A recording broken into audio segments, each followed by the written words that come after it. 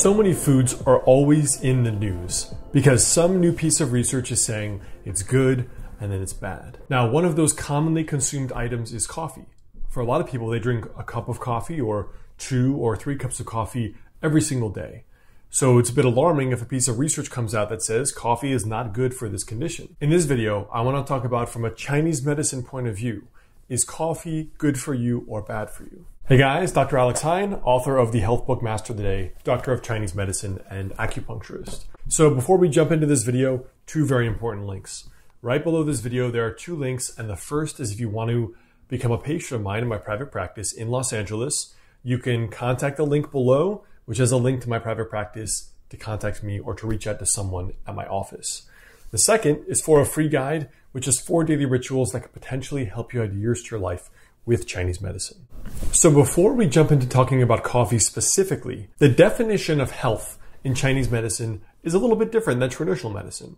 You know, if you ask your doctor what is healthy, they will probably say something like a healthy BMI, your blood work, your labs look good. But I have a lot of patients I see. Probably 30% of my patients have normal labs, but they don't feel well. And they're not well. They're sick from a Chinese medicine point of view, on top of the fact that they feel sick. So how could that be true on its own? Well, I think Chinese medicine is a bit more of a nuanced description, and I want to quote a chapter from our most ancient medical book, The Yellow Emperor's Inner Classic. And the very first chapter talks about longevity and health. So some of these terms are a bit archaic, but I want to explain this after reading it. So the first chapter says, in comparison to why people in ancient times, they talked about people who follow the Tao live a long life versus modern people who are old by the time they're 50.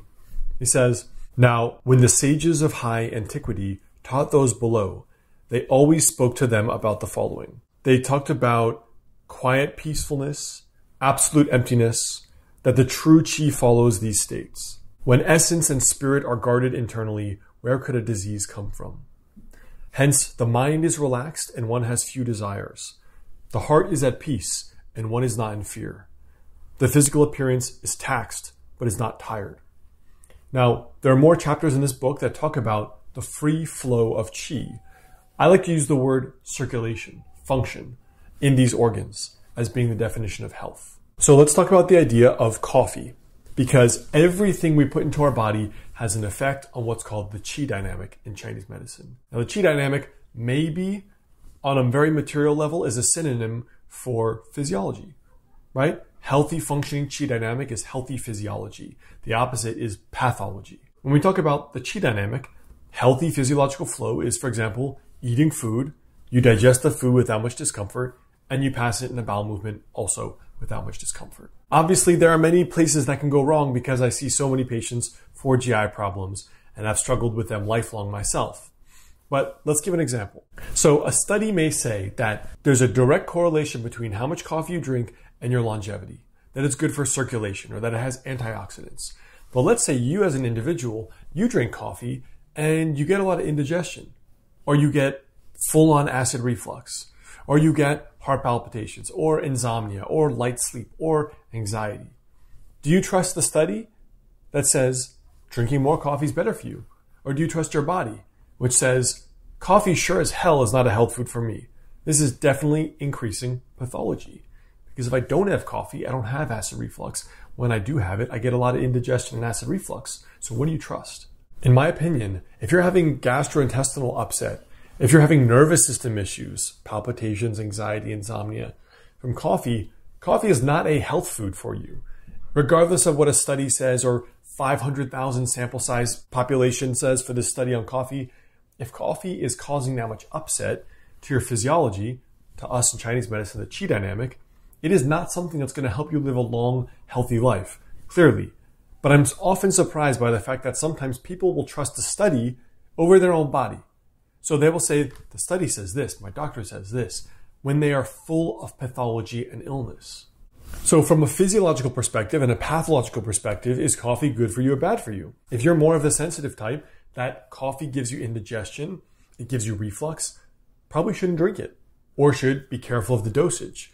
Because I think, as Hippocrates said, Hippocrates or Paracelsus, the dose makes the poison. So maybe like me, you can only have coffee every couple days or a couple times a week. Maybe you're someone who tolerates coffee really well and you can even drink it before bed and you're out like a light and you sleep well and you have good energy.